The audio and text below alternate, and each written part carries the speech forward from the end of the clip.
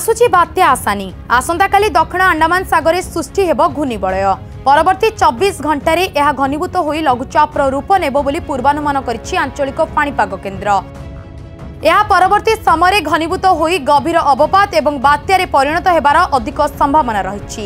ପାଣିପାଗ model windy ପକ୍ଷରୁ ଜାରି ହୋଇଥିବା ଗ୍ରାଫିକ୍ସ ଅନୁସାରେ ବାତ୍ୟାଟି ଅତି ତୀବ୍ର ବେଗରେ ଓଡ଼ିଶା ଉପକୂଳରେ ଲ୍ୟାଣ୍ଡଫଲ୍ କରିବ। କିନ୍ତୁ ଲଘୁଚାପ ପରେ ଏହାର ଗତିପଥ ଏବଂ ତୀବ୍ରତା ଜଣାପଡ଼ିବ। ଦୁଇ ଦିନ ମଧ୍ୟରେ ବାତ୍ୟାର ସ୍ପଷ୍ଟ ଚିତ୍ର ଆସିବ ବୋଲି କହିଛି ଆଞ୍ଚଳିକ ପାଣିପାଗ କେନ୍ଦ୍ର। ବଙ୍ଗୋପସାଗରରେ ମେଘଖଣ୍ଡ ଏକାଠି ହୋଇଥିବା ନେଇ ସ୍ୟାଟେଲାଇଟ୍ରୁ ଚିତ୍ର ମିଳିଛି। ସମ୍ଭାବ୍ୟ ବାତ୍ୟା ଉପରେ ନଜର ରଖିଛି ଆଇଏମ୍ଡି। ସେପଟେ ଉପକୂଳ ଓଡ଼ିଶାରେ ସାମାନ୍ୟ କମିଛି ତାତି। ତାପମାତ୍ରା ଅଧିକ ନଥିଲେ ମଧ୍ୟ ଅସହ୍ୟ ଗୁଳୁଗୁଳିରେ ଛଟପଟ ହେଉଛନ୍ତି ଲୋକେ। କିନ୍ତୁ ଆସନ୍ତା ଚାରି ଦିନ ପର୍ଯ୍ୟନ୍ତ ଆଭ୍ୟନ୍ତରୀଣ ଓଡ଼ିଶାରେ ମିଳିବନି ତାତିରୁ ତ୍ରାହି ଅଧିକାଂଶ ଜିଲ୍ଲାରେ ତାତି ଚାଳିଶ ଡିଗ୍ରୀ କିମ୍ବା ତାଠୁ ଅଧିକ ରହିବ ବୋଲି ପାଣିପାଗ କେନ୍ଦ୍ର ତରଫରୁ ସୂଚନା ଦିଆଯାଇଛି। ବ୍ୟୁରୋ ରିପୋର୍ଟ ନ୍ୟୁଜ୍ ଆଡ୍ଡା ଓଡ଼ିଶା।